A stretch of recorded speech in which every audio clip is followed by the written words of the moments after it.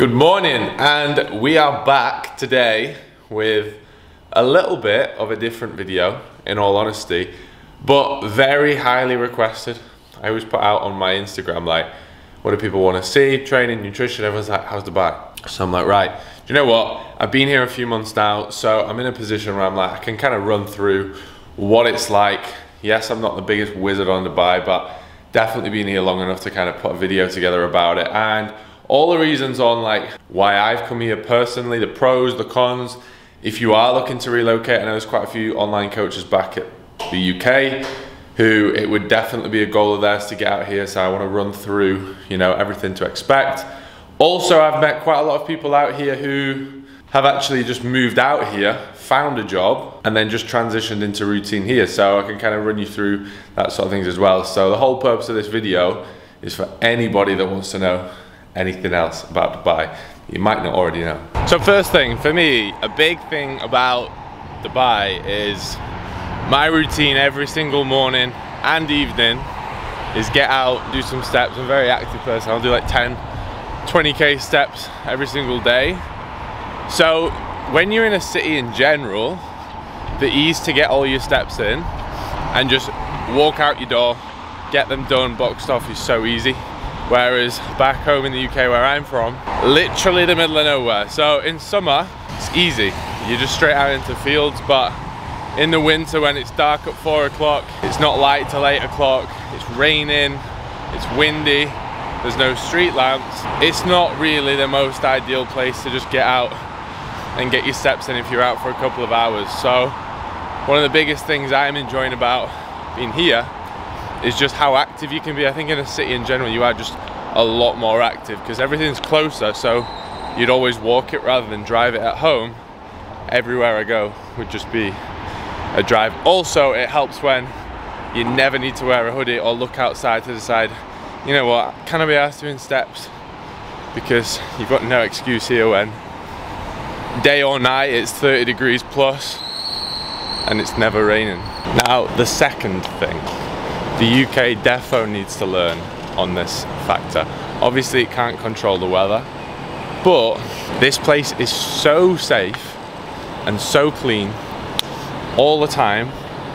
It just removes all these micro stresses out the back of your head. You're never walking around thinking, am I gonna get mugged? Is that gonna get stolen? Why are they giving me a funny look? You're never seeing graffiti and rubbish on the streets. You will never see a piece of litter here. Like, if you go into any toilet, any gym, any public place, there is cleaners cleaning up after you instantly as soon as you've been in there all the time. If you're walking down the streets, it's the exact same thing. So that is just really refreshing in my opinion, just have somewhere so clean and so luxury all the time. Then when it comes to safety, there is security all over the place, but not, it doesn't seem like in an aggressive way, it's just like a, a prevention method like no matter what time of the day, three in the morning, 12 in the afternoon, you're as safe as it gets. Like you couldn't be safer. I honestly don't think there's anywhere safer in the world than here.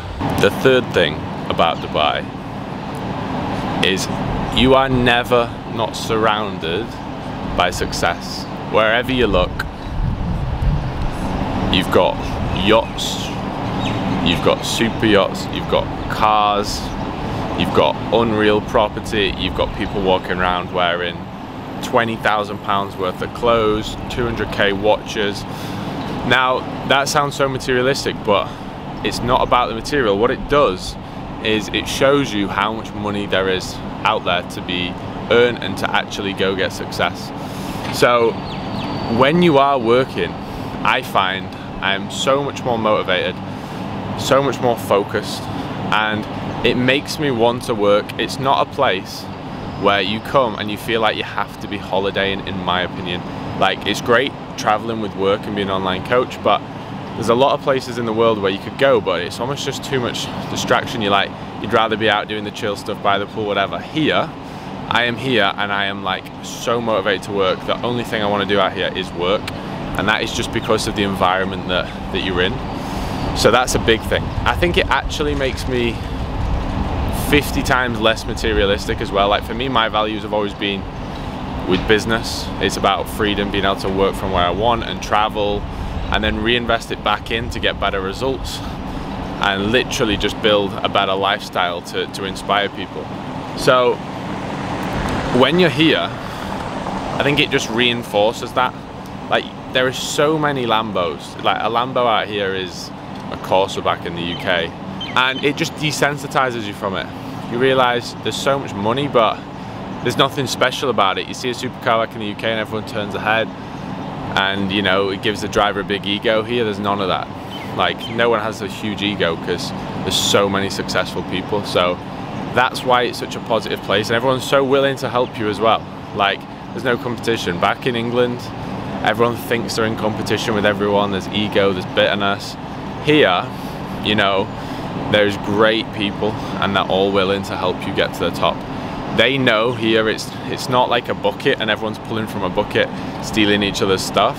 It's a river of like success. Everyone's like just get in the river and like everyone wants you to do so well, which is so good being around a positive vibe all the time, being around successful people all the time that actually want you to be, you know, at the top with them. So that's quite refreshing. As soon as you land back in the UK, it just sinks. There's just a negative vibe, I find. So tying into the fact that you are in such a successful place, you're around a positive vibe and all these people, now you can actually network with these people, which is the next thing. So the networking opportunity out here is like unbelievable. Like since I've been here, some of the big, big contacts and networks that I've kind of been able to get into can genuinely change your life just from being here that you wouldn't have had if you weren't here. Now, obviously you've got to work to the point to, to be here and get where you are in your career, but then actually just physically bringing yourself over here, getting in these network circles, learning new things, learning new skills, just allows you to take your life and business to that next level. So for me, in my circumstances, whether it's getting in conversations with other online coaches, you know, who have been further ahead in the process and now they've scaled and they've got team teams of 100 people and it's like, look, we've had these issues you're facing now, Tom, where you can't keep up with demand. This is how you need to go about it. It could be financial advice when you start earning X amount, what you want to be doing with that money to give you maximum benefit in the future and potentially earn more money with that money. It could just be opportunity for new jobs, new side hustles. So new business opportunities, new businesses to start with other like-minded people that I find I struggle to meet back in the UK as much. So just being here, I'm around a lot more people which I personally relate with. Uh, that, you know, I do, I honestly do struggle with that. I never lie about that. Back in the UK, there's a lot of people that I get on with, a lot of people I like. But in terms of like, that I can have a conversation with about business and actually fully relates with me, as soon as you come over here, you're surrounded by that. Because I am a big believer on you can go far alone and you can grow a great business on your own. Being around others will allow you to push that and excel that. And then if you want to take those next steps, I think you need a team. And since I've been here, I've now got a good team around me of like-minded lads, which I know is going to push me to the to the top and where I want to get just by having that extra accountability that extra insight and look onto my situation, which will change everything. We are back from the walk about 8.30 in the morning and it's boiling, which ties into the next benefit, the weather. I am a slag for sun. I hate rain. I don't mind snow if I'm like planning on snow, i.e. I'm going to Alps or something. But I'm a slag for the sun. And it's always sunny here. The worst day here will be like 28 degrees, bit overcast, but you've never got a cold chill, ever. Like I've not ever worn a hoodie here, which is unreal. So when you are outside, it's refreshing. Also, my apartment is just glass surround. So when I'm working, if I'm in the UK working on my laptop, 14 hours a day, looking outside at the rain, that is so depressing. Whereas when I'm in here and I'm looking out and I've either got the sun and the water.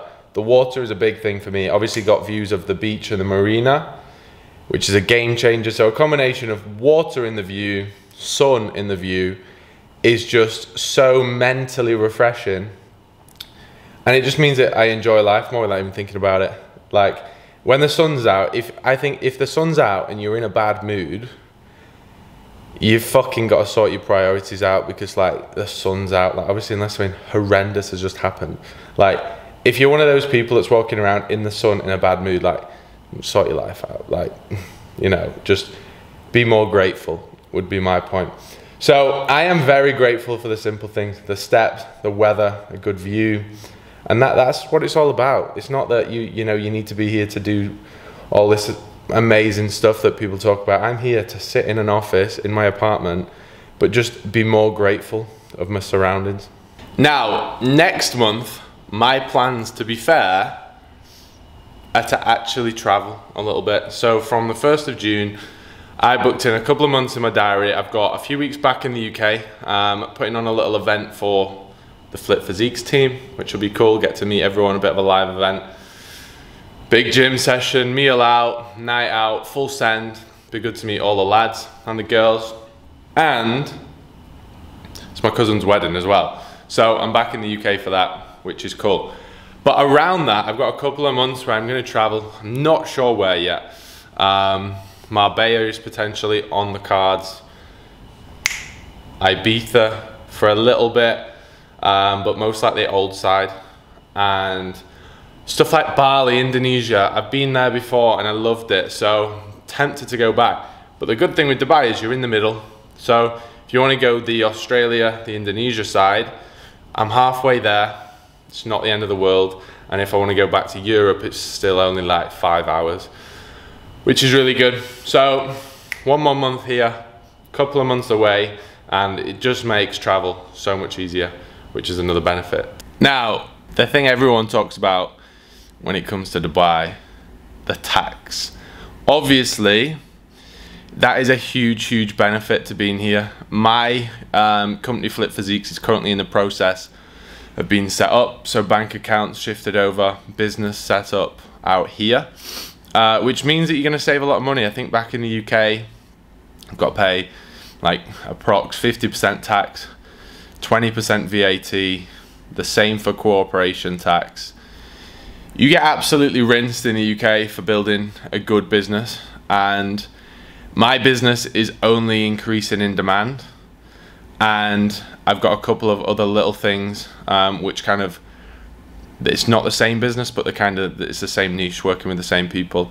Um, so for me, it makes makes sense to be out here. Like as the business is growing, why get absolutely arse raped by HMRC um, when I could be here and that extra money that I'm now not giving away, I can actually reinvest it back into the business to make the business better and then grow the business even more. That's how I see it. It's not about oh I want to save X amount of money so now I can go and get whatever. It's it's more about money in business is key. Like money means that you can make your service better for the clients that you've got and it also means that you can service more people. So for me being here just gives me the opportunity to yes be around all this great network, be in a place that I love, but I can save more money to then reinvest back into the business. And when it comes to growing a business, for any online coaches out there or any business owners out there, you need to be doing everything you can to reinvest as much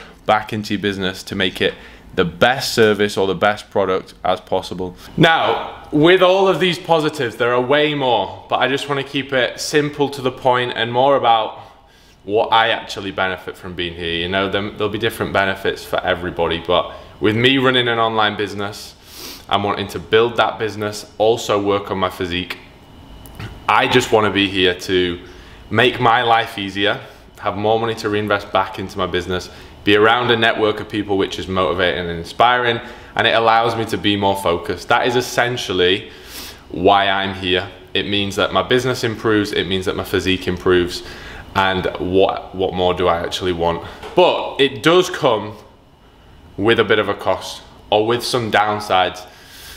Obviously, you are in a city, you are in Dubai, one of the biggest cities in the world.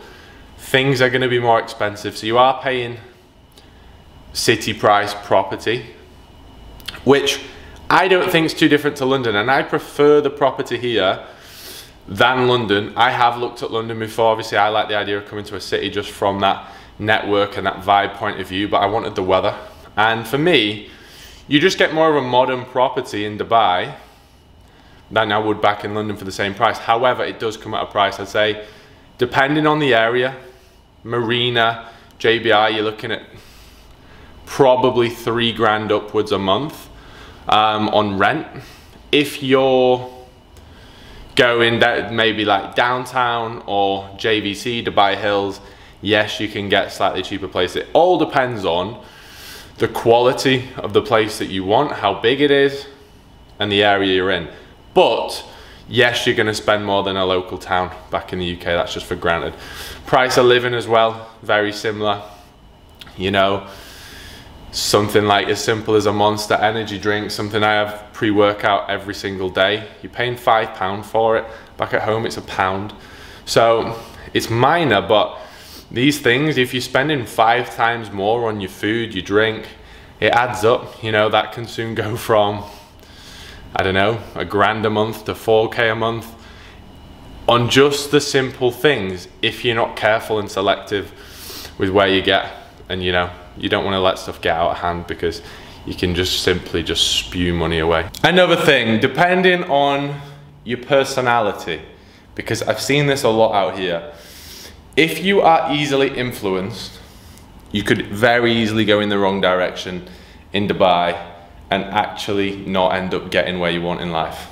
And I would say it's one of those things, you know, people say money will exaggerate your values and, and how you are as a person. Dubai kind of does the same thing. So if deep down you're a bit of a partier and you're easily influenced, out here there is so much opportunity, right? And all that will happen is you will follow your actual values and like the true you comes out. So if you really come here to graft and to build a business and to build your physique or whatever, all of a sudden you're surrounded by more people who are building the physique, building the business. You are going to become a better, more amplified version of that just because who you're around. But if you're not careful, you could very easily come here thinking you're here for business, but deep down you know you're a bit of a partier and you could be on a yacht party every night, chasing clout about because you know it's so easy. You can get on a yacht, big names, and it's one of those. A lot of people follow all that, and you can get in all these situations where for social media it looks like you're the big time, you're doing amazing. Is it actually taking you anywhere forward in life? No. And you can follow those situations on a daily basis and end up not getting where you want, spending a lot of money, and just getting drunk, which for me is a complete opposite value to kind of what I share. So, you know, if you're not careful, that can happen. So if you do come here, make sure you're very clear on what your values are, make sure you're very clear on what your mission is, and you're surrounding yourself with the right people, the right circle, which is actually right for you because there is so much opportunity and that is a benefit but too much opportunity in all these different areas if you're just a yes man or a yes girl and you're like oh that sounds amazing and you're just a reactive person and you just dart to wherever there's opportunity you'll get so off track so fast because there is just so much going on and just like anywhere in the world obviously got to finish as a downside you're not around your family unless they live in Dubai. Um, so that is just the thing. With me being an online coach, since I've decided that I will live abroad full time, move the business to Dubai, and then travel from here, I'm obviously not going to be able to spend as much time with my family. So sometimes in life, you've just got to do those big moves, which you know is going to take you in the right direction. But obviously, you've just got to stay in close contact with your family. And then when you are with them, just spending really valuable time. So hence why I've got a holiday booked with my parents um, in the summer And obviously we've got the wedding and just being, just basically making sure that when you are then seeing them, you're getting the most out of it um, because you're not going to spend as much time with them. So just staying in contact with them. Uh, if anything, it can make you closer to them um, because you value it even more. Um, but yeah, that is obviously a downside. You're not around all these people that you know back in the UK all the time. So you've just got to kind of cherish that, value that even more. So that is my thoughts on Dubai, short and sweet. I didn't want to make this too long. I literally just wanted to get to the point on this is my thoughts so far. I've only been here a couple of months, but why have I come? You know, what have I learned? What have I seen? What have I witnessed? So for any of you that are wanting to come out, potentially make that move, these are things that you all definitely need to take into account. If you're running a business, I would say it's great, but make sure you're surrounding yourselves with the like-minded focused people. If you are just coming over here because you want that opportunity to be in the sun and you want to just simply get a job over here, it's not business focused and you just want to enjoy the life where you're obviously surrounding yourself with, you know, a great lifestyle. So it is good for balance. You've got the best of both here. You can build a huge business. You're surrounded by wealth, by network, good weather. But then when you do want that downtime, and you do want that lifestyle balance, you've got everything here that you could possibly imagine for spending your downtime. So I think you actually, if you, if you do it right, you improve your business, but because you also then have a better downtime, you're more focused when you're back in your business. So I hope you enjoyed the video guys anyway. There's gonna be a lot more coming. Make sure you like, make sure you subscribe, and I'll speak to you soon.